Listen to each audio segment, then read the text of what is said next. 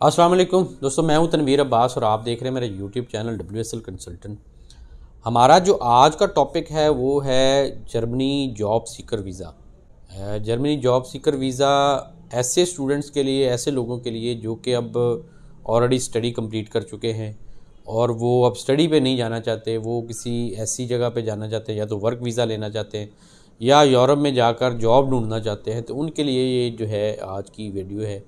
हम, हमारी कोशिश होती है कि आप लोगों के लिए ऐसी वीडियोस लाते रहें जिसमें आप लोगों को बेनिफिट हो। चाहे वो वर्क वीज़ा के लिए हों, चाहे वो जो है स्टूडेंट के लिए हों, चाहे वो स्कॉलरशिप्स हों। तो ये डिफरेंट कैटेगरीज़ के ऊपर हम बात करते रहते हैं। तो आज हम जो है जर्मनी जॉब सीकर वीज़ा के ऊपर बात करेंगे। कि इसको आपने कैसे अप्लाई करना है, इसके कौन कौन से स्टेप्स हैं और इसमें आपके क्या रिक्वायरमेंट्स हैं, इसकी बेसिकली आपकी क्या इसकी एलिजिबिलिटी किस तरह से हो सकती है और क्या क्या इसकी रिक्वायरमेंट्स हैं। तो ये सारी डिटेल आज की इस वीडियो में हम डिस्कस करने जा रहे हैं। वीडियो आखिर तक देखिएगा ताकि कोई भी इंपॉर्टेंट इन्फॉर्मेशन जो है वो स्किप ना हो जाए। और इसके अलावा अगर आप भी UK USA Canada Austria Italy या किसी भी और मुल्क में अप्लाई करने में इंटरेस्टेड हैं तो आप हमारे दियो नंबर पर रबता करके इसके बारे में मज़ीद इन्फॉर्मेशन ले सकते हैं। अपने डॉक्यूमेंट्स शेयर करें, हम आपको फ्री ऑफ़ कॉस्ट जो है असेसमेंट देंगे। मज़ीद आगे बढ़ने से पहले अगर आपने हमारा चैनल सब्सक्राइब नहीं किया तो वो भी कर लें, ताकि आने वाले दिनों में जो भी स्टडी के ऊपर, वर्क के ऊपर, विज़िट के ऊपर या इस तरह के जॉब सीकर वीज़ा के ऊपर हम वीडियोस लेकर आते रहते हैं, वो आपको टाइम से मिलती रहे। दोस्तों, सबसे पहले अब बात करते हैं कि सब, ये जॉब सीकर वीज़ा बेसिकली है क्या? जॉब सीकर वीज़ा होता ये है कि आपने किसी भी कंट्री जो कि जॉब सीकर वीज़ा देता है, वो ये है कि आपने वहाँ पर जाकर जॉब ढूंढनी है। आपने उस टाइम को, जितने अरसे का वो वीज़ा आपको मिलता है उतने अरसे में आपने उस जॉब सीकर वीज़ा में अपनी कोई ना कोई जॉब ढूंढनी है। और जॉब ढूँढने के बाद आपने वहाँ पर अगर आपको जॉब मिल जाती है तो आपका जॉब सीकर वीज़ा एक्सटेंड हो जाता है। अदरवाइज़ आप वापस आ जाते हैं, या हो पॉसिबिलिटी हो तो आप किसी और मुल्क में भी ट्रैवल कर सकते हैं। तो ये बेसिकली जॉब सीकर वीज़ा की एक कैटेगरी जो है, ये है। और अक्सर मुल्क इसको इशू करते रहते हैं और भी मुल्क इसके ऊपर करते हैं। तो इस दफ़ा जो अभी हम बात करेंगे, वो जर्मनी के ऊपर है। जर्मनी ने भी अपने मुख्तलिफ़ जो अच्छे प्रोफेशनल्स हैं, उनको अपने पास बुलाने के लिए इस कैटेगरी का अनाउंस ऐलान किया है। और इसके अंदर जो है, आपने कैसे अप्लाई करना है, मैं आपको स्टेप वाइज बताता जाता हूँ। सबसे पहला जो इसमें स्टेप होता है, वो उसको आप कह लें, वो अपॉइंटमेंट बुक करना होता है। आपने J S V appointment online book करना होती है।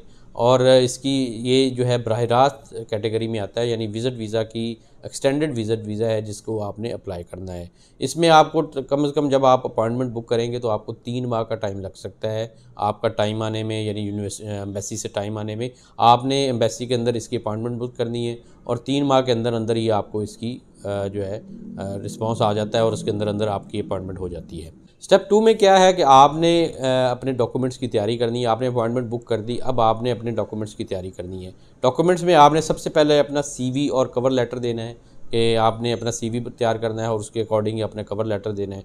इसके, इन डॉक्यूमेंट्स की बहुत अहमियत है अहमियत है, इसलिए आपने इनको बहुत अच्छी तरह से जो है इसको बेहतर तरीके से तैयार करना है। आपका जो एक्सपीरियंस है तकरीबन कम अज़ कम पाँच साल का होना चाहिए। तालीम जो है आपकी जो एजुकेशन रिक्वायर्ड है वो यूनिवर्सिटी की डिग्री यानी 16 साल की एजुकेशन के बराबर आपको एजुकेशन रिक्वायर्ड है। इसके बाद आपका जो एक इंपॉर्टेंट रिक्वायरमेंट है, वो है ब्लॉक अकाउंट आपका अपने ब्लॉक अकाउंट खुलवाना है जर्मनी के अंदर, जिसके अंदर पाँच पाँच हज़ार एक सौ अठारह यूरो जो है आपने डिपॉजिट करवाने हैं।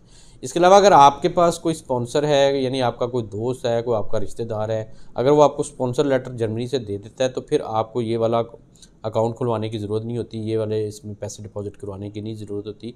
देन आप उसका स्पॉन्सर लेटर लगा कर भी इस रिक्वायरमेंट को पूरी कर सकते हैं। अगर आपका कोई जानने वाला नहीं है, आपका कोई दोस्त नहीं है तो देन आपको ये पाँच हज़ार एक सौ अठारह यूरो ये अकाउंट खुलवा के जर्मन में वहाँ पर डिपॉजिट करवाने पड़ेंगे। दोस्तों, ये तो आपकी थी कि आपको 16 साल की एजुकेशन रिक्वायर्ड है इसमें बेसिकली और एक आपने जो है अकाउंट खुलवाना है, बाकी आपके पास पाँच साल का एक्सपीरियंस होना चाहिए। तो देन आप इसके लिए एलिजिबल होते हैं। ये ही बेसिक सी एलिजिबिलिटी इसकी बनती है। उसके बाद अगला है कि आप स्टेप जो है, आपने इंटरव्यू की तैयारी करनी है।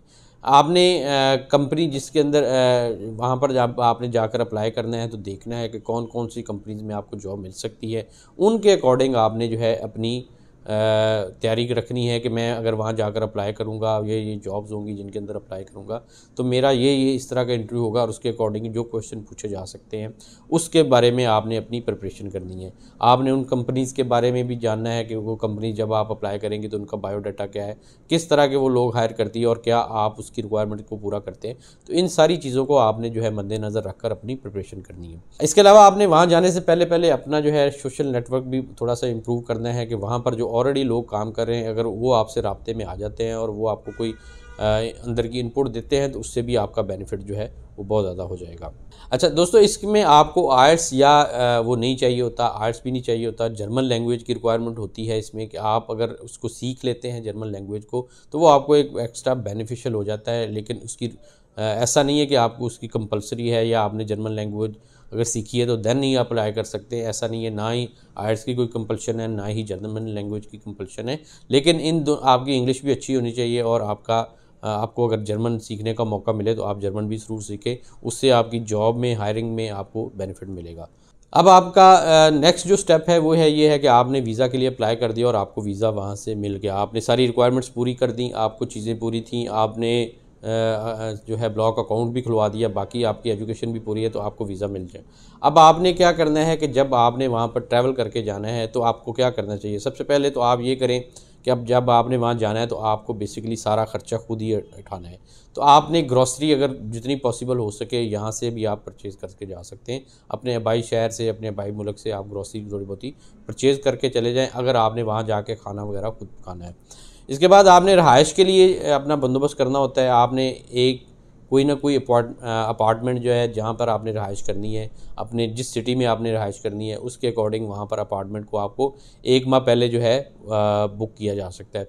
आप ये बैठ के ऑनलाइन भी कर सकते हैं बुकिंग डॉट कॉम से भी, और बाकी चीज़ अगर कोई आपका जानने वाला है तो उसके थ्रू भी आप इसकी बुकिंग करवा सकते हैं, और आप अपना रहाइश का पहले से बंदोबस्त करना पड़ेगा। ड्यूरिंग अगर आपको जॉब नहीं मिलती, आपको बेसिकली परमानेंट एक अच्छी जॉब चाहिए होती है, लेकिन अगर आपको नहीं मिल रही और आपको कोई पार्ट टाइम छोटी मोटी जॉब्स मिलती हैं तो वो आप कर सकते हैं। उससे ये आपको होगा कि आप अपना ड्यूरिंग जो वहाँ पर आपका टाइम है जब आप जॉब ढूंढ रहे हैं तो आपकी जो खाने पीने का और बाकी अखराज उससे निकल आएँगे तो ये आपको एक बेनिफिट है। अगर आप को अच्छी जॉब नहीं भी मिलती ऑफ़र नहीं मिलती तो आप फिर भी छोटे मोटे काम करके अपने जो है एक्सपेंसेस को मैनेज कर सकते हैं। अच्छा दूसरा नेक्स्ट जो आपको मैं एक मशवरा देना चाहूँगा, ये है कि अगर आपको ये जॉब सीकर वीज़ा मिल जाता है और आप जर्मनी चले जाते हैं, लेकिन आपको वहाँ पर जाकर जॉब नहीं मिलती, आपने अपनी पूरी कोशिश की लेकिन जॉब नहीं मिली तो फिर आप लिए परेशानी ना आपने जर्मनी में ओवर स्टे नहीं करना, वहाँ पर इलीगल नहीं रहना, आप वहाँ से जो है किसी और मुल्क, पुर्तगाल भी जा जा सकते हैं, वहाँ पर पुर्तगाल जाकर अपनी फ़ाइल को सबमिट करवा सकते हैं